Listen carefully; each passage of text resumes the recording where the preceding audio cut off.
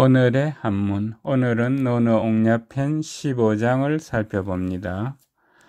자왈, 수능출분류호리오마는 서성자, 가로왈, 공자가 말하였다.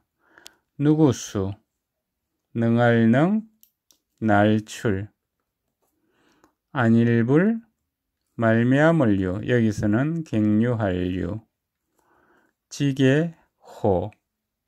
누가 밖으로 나갈 때 문을 나가지 않을 수 있겠는가?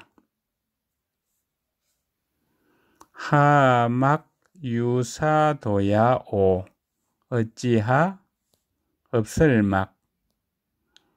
경유할유 이사 길도 어저사야 어찌하여 이 길을 가지 않는 것인가?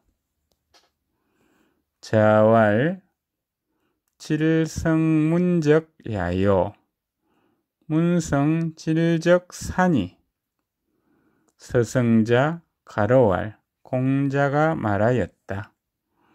바탕질 이길성 여기서는 나을성 걸을문 여기서는 문체문 고적 여기서는 하면적 덜야 여기서는 야인 야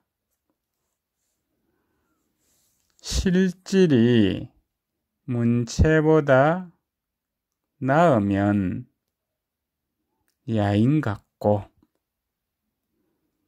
그를 문체문 날성 바탕질 하면적 사기사 여기서는 사간사. 문체가 실질보다 나으면 사간 같으니 문질 빈빈 연우 군자라.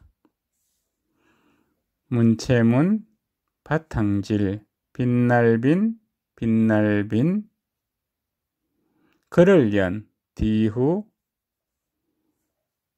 임금군 여기서는 어진이군 아들자 여기서는 전미사자 문체와 실질이 적절히 조화된 뒤에야 군자답다.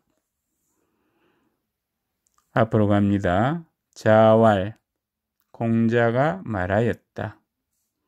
수능출 분류 호리오마는 누가 밖으로 나갈 때 문을 나가지 않을 수 있겠는가? 하막 유사도야오 어찌하여 이 길을 가지 않는 것인가? 자왈 공자가 말하였다. 질성문적 야요 실질이 문체보다 나으면 야인 같고 문성질적 산이 문체가 실질보다 나으면 사강 같으니 문질 빈빈연우 군자라 문체와 실질이 적절히 조화된 뒤에야 군자답다.